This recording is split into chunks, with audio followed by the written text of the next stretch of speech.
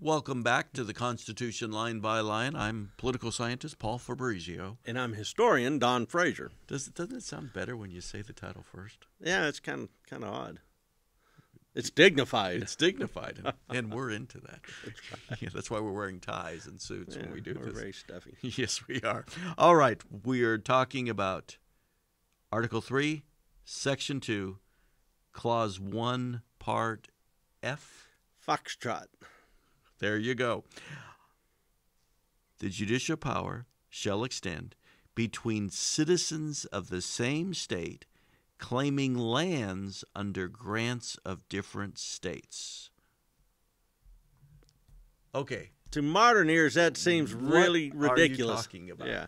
Well, for starters, we've got a country where we haven't quite figured out what the western boundary is. I mean, it's the Mississippi, but what's the western boundary of North Carolina, for instance? That wasn't defined? Well, it was originally defined as the coast of North Carolina, but under the British colonial system, the western boundary there went all, went to oblivion. There wasn't one. Yeah, so I mean, sort of just long, yeah, just long strips as far west as you could go. And I guess the plan was, should all that territory come into British possession, then you'd have to sort it out. Now they tried to sort it out with uh, the rule of 1763 that said, all right, none of you guys can go west of the Appalachians anyway.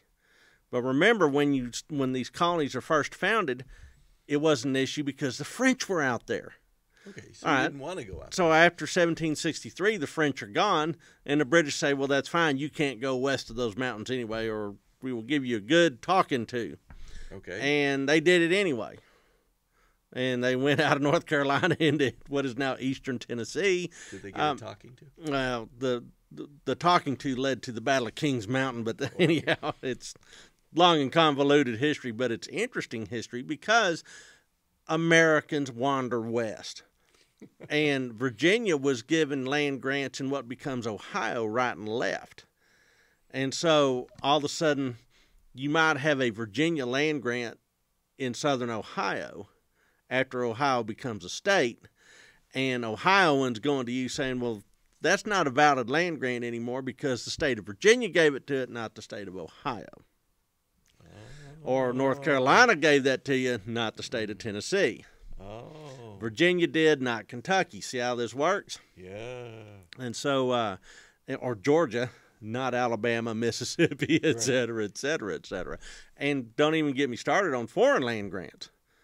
Oh, the Spanish. The uh, Spanish land grants in in uh, New Mexico and Texas and California. French land grants in Louisiana.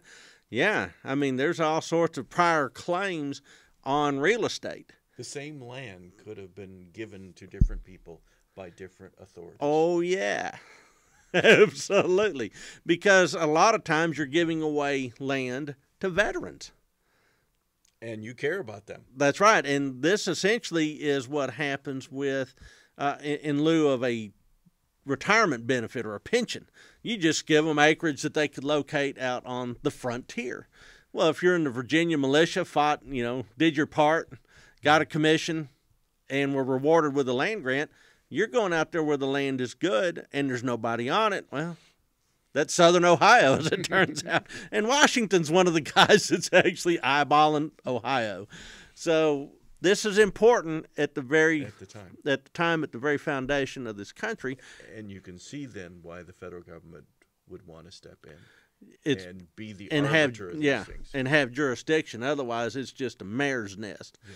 Uh, but these cases still occasionally come up with uh, foreign land grants, especially Spanish oh, land Spanish, grants. Yeah, here in Texas. Yeah, here in Texas, all over the place, and so uh, it still has a, uh, a shadow uh, uh, resonance, I mm-hmm. guess, mm-hmm. throughout American history. But it just seems peculiar. How long did it take?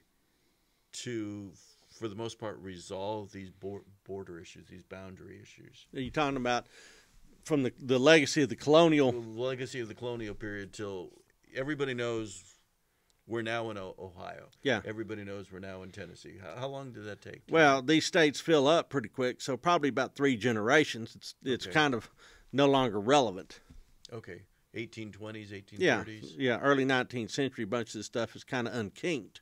Yeah. But then when you have the Mexican Cession, Okay. now all of a sudden, well, I've got a land grant from you know the Veramendis, and they gave me this territory in this particular river valley, or I came in under the impresario system. Mm-hmm. You know, a lot of people look at Anglo impresarios in Texas history, like Stephen F. Austin.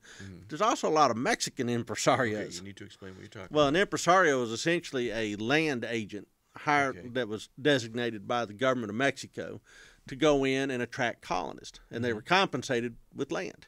Okay. So they didn't pay them. We'll pay you twenty thousand dollars. Go round up some colonists. They said, look, if you'll go round up X number of colonists, with Austin it was three hundred. Okay. Uh, we will give you five times whatever we give them. So if they get a league and a labor, you will get five leagues and five labors.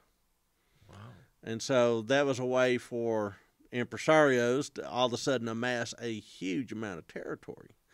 But we look at Stephen F. Austin, and he's an American, Mm-hmm. but there's also Mexican impresarios doing the exact same thing. So, what happens to their claims once Texas becomes part of the United States?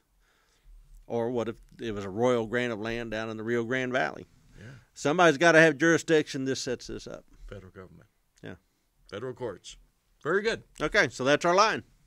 And we'll have another line next time.